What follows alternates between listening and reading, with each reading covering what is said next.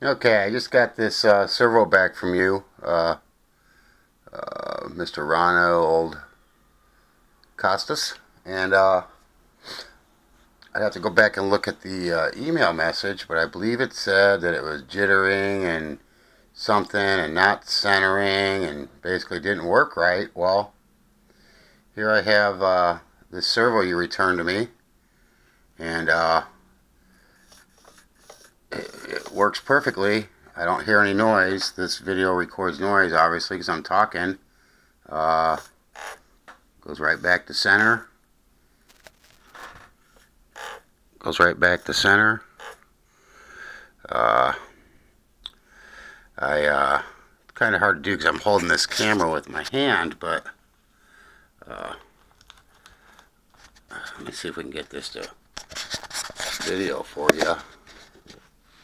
Uh, I mean,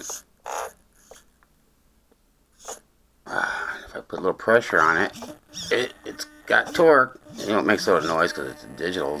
Doing that there. Uh, I don't, uh, I'm sorry, I just don't, uh, get it. Works perfectly.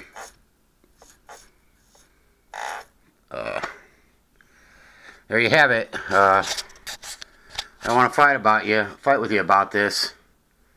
Uh, so I, you know, I, I'm really not sure what to say. You know, I, I sold it exactly as I described it. It's used. You know, uh, I, long time RC guy here.